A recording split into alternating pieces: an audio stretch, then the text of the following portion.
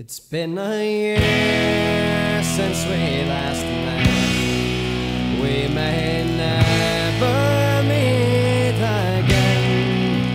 I have struggled to forget, but the struggle.